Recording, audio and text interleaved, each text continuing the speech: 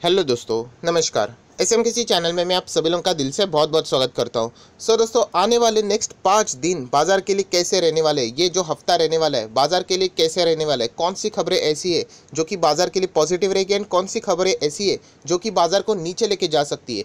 उसी से रिलेटेड बात इस वीडियो में यहाँ पे होने वाली है। सो so, चलिए दोस्तों इस वीडियो को स्टार्ट करते हैं बट उससे पहले भी ज़रूर कहना चाहूँगा किसी ने फ़र्स्ट टाइम विज़िट किया है चैनल को ज़रूर सब्सक्राइब कर लेना बेल आइकन को हिट कर लेना। अगर आप चाहो तो फ्री स्टॉक मार्केट क्लासेस को भी फॉलो कर सकते हो लिंक ऊपर आए बटन पे या नीचे डिस्क्रिप्शन बॉक्स में मिल जाएगी।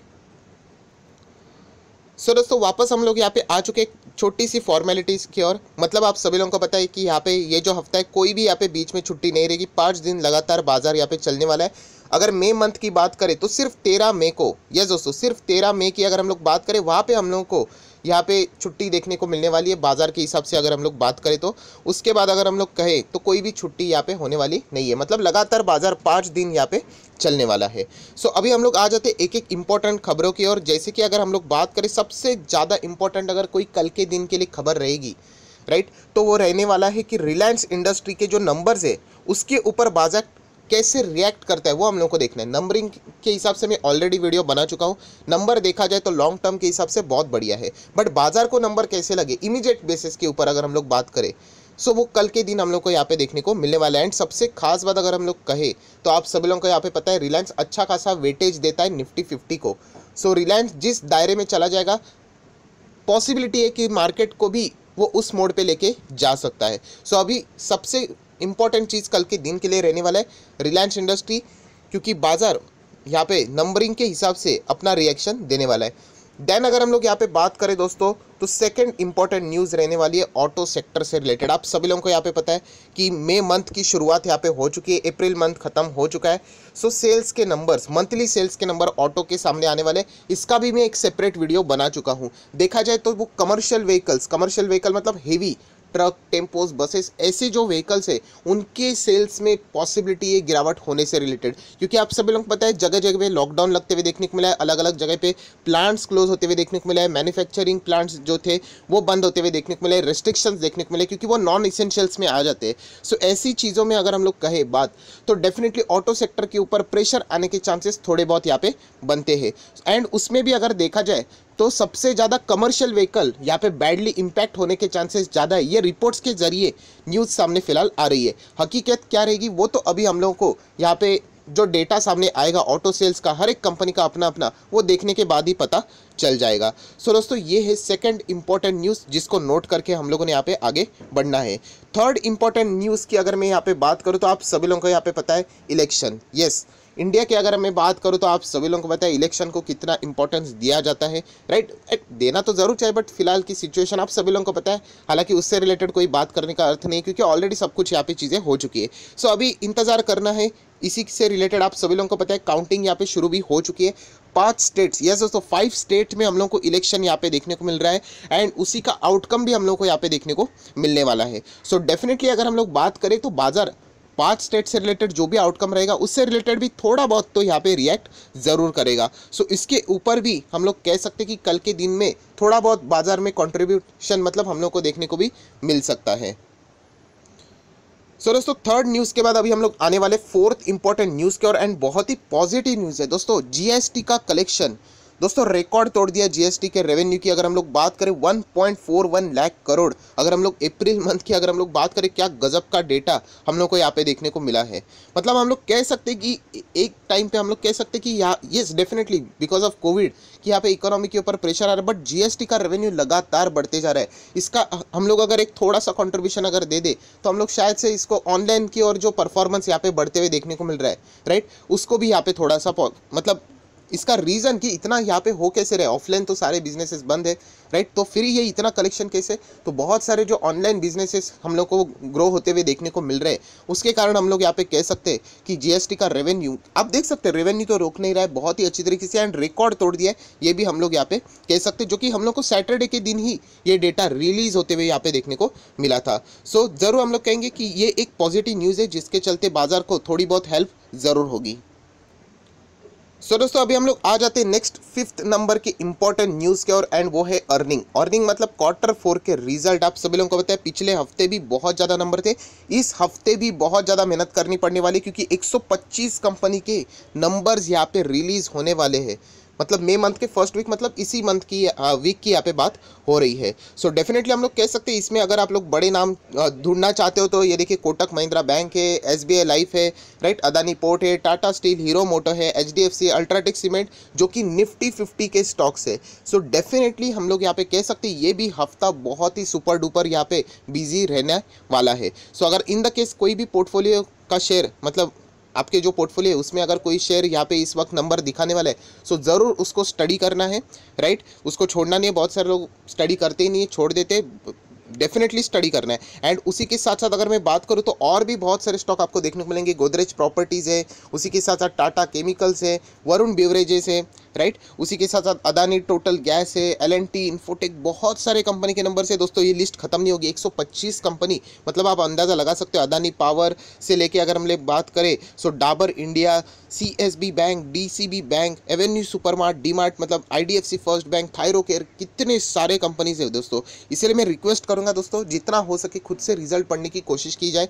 राइट गलत तो गलत सही, क्योंकि 125 कंपनीज़ को मे भी अगर प्रैक्टिकली कवर करने जाओ तो डिफ़िकल्ट रहेगा। जितना हो सके मैं कोशिश तो कर रहा हूँ बट आप लोगों ने भी अपने साइड से कंट्रीब्यूशन यहाँ पे ज़रूर देना चाहिए। सो so, दोस्तों ये भी हफ़्ता मतलब ज़बरदस्त यहाँ पे रहने वाला है। अगर हम लोग बात करें तो रिज़ल्ट के हिसाब से बड़े बड़े कंपनी के नंबर्स यहाँ पे आने वाले हैं।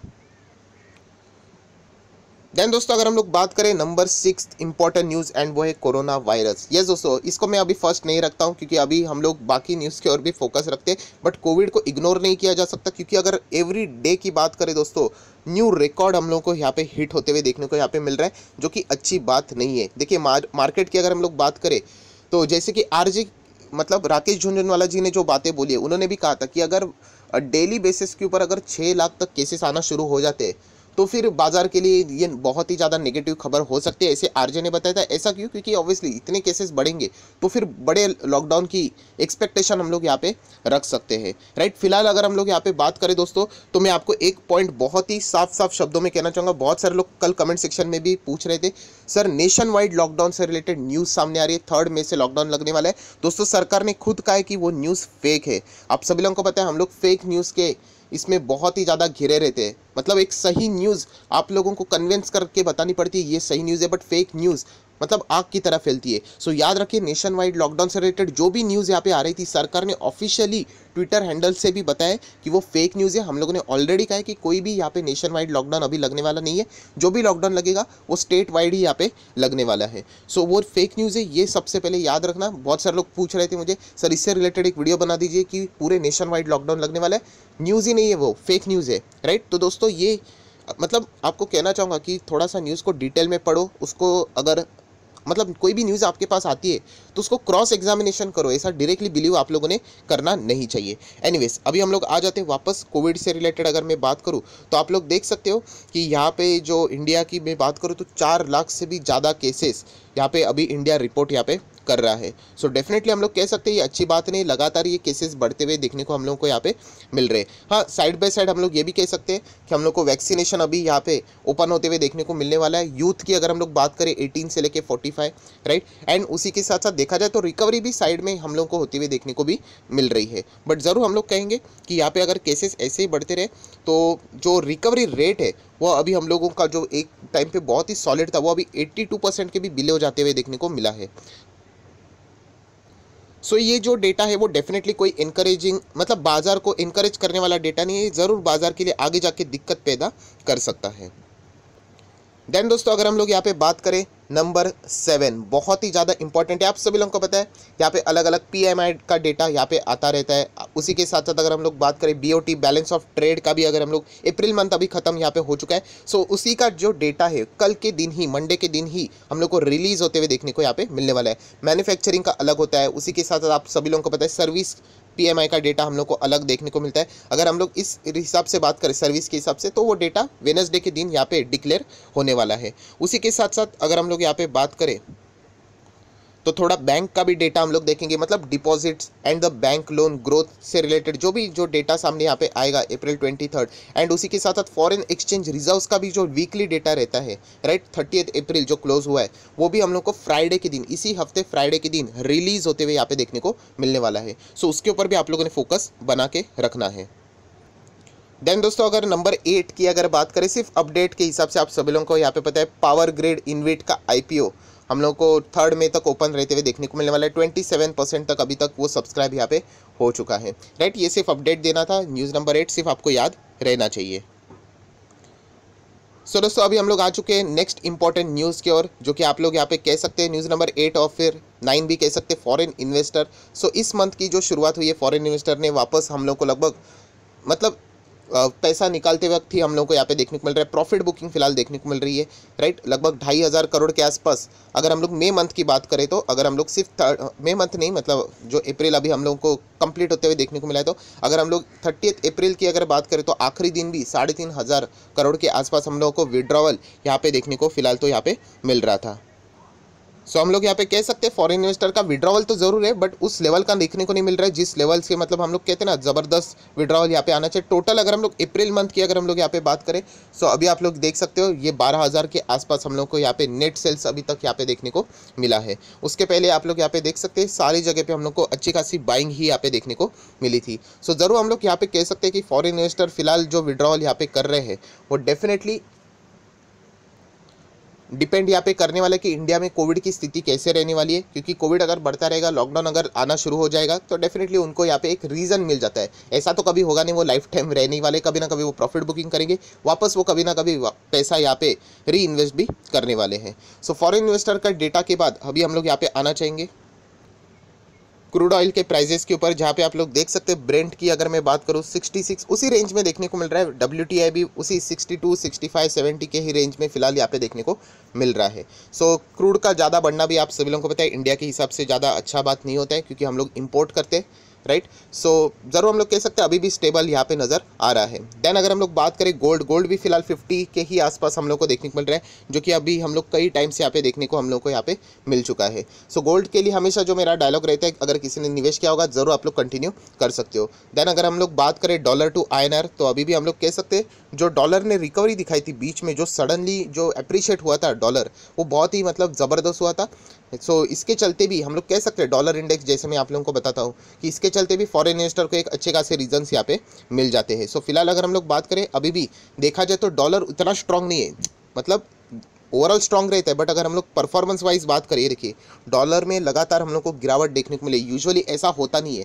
अगर हम लोग यहाँ पे कहेंगे दस में से एक बार कभी ऐसा होगा राइट क्योंकि यूजुअली देखा जाए तो डॉलर हम लोग को हमेशा स्ट्रॉन्ग ही नज़र यहाँ पे आते हुए देखने को मिलता है। ये देखिए, पाँच साल की बात करें सो अप्रिशिएशन ही डॉलर में ज़्यादा होता है against the Indian rupee so फ़िलहाल अगर हम लोग बात करें तो अभी भी डॉलर यहाँ पे थोड़ा बहुत, जिस लेवल से वो भागना चाहिए, उस लेवल से नहीं भाग रहा इसके कारण हम लोग कह सकते हैं, यहाँ पे कि डॉलर में अभी भी थोड़ी बहुत कमज़ोरी यहाँ पे बनी हुई है।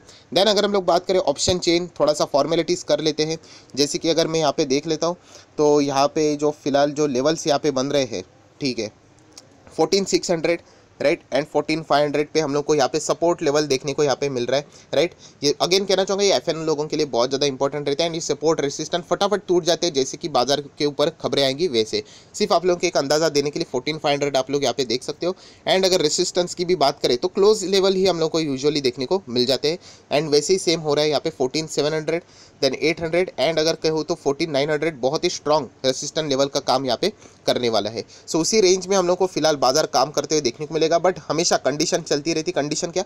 कभी भी कोई बड़ी न्यूज़ आ जाती है ब्रेकिंग न्यूज़ चाहे वो नेगेटिव हो या फिर पॉजिटिव हो वो डेफिनेटली उन सारे लेवल्स को यहाँ पे इजीली ब्रेक कर देती है। सो एज एन इन्वेस्टर हम लोगों को ज़्यादा कोई फ़र्क नहीं पड़ता है ये अप्स एंड डाउन्स यहाँ पे चलते रहेंगे। आज fourteen five hundred fourteen six hundred पंद्रह हज़ार की बात हो रही है। कभी तो जाके बीस, पच्चीस हज़ार की भी बात यहाँ पे होने वाली है। सिर्फ़ नॉलेज के हिसाब से इन चीज़ों को यहाँ पे मैंने कवर किया है। सो आए आशा करता हूँ दोस्तों, आपको आज के वीडियो अच्छा लगा होगा तो ज़रूर इस वीडियो को लाइक एंड शेयर भी कर देना। So that's it thank you very much दोस्तों. We will be meeting next video तब तक के लिए बाय बाय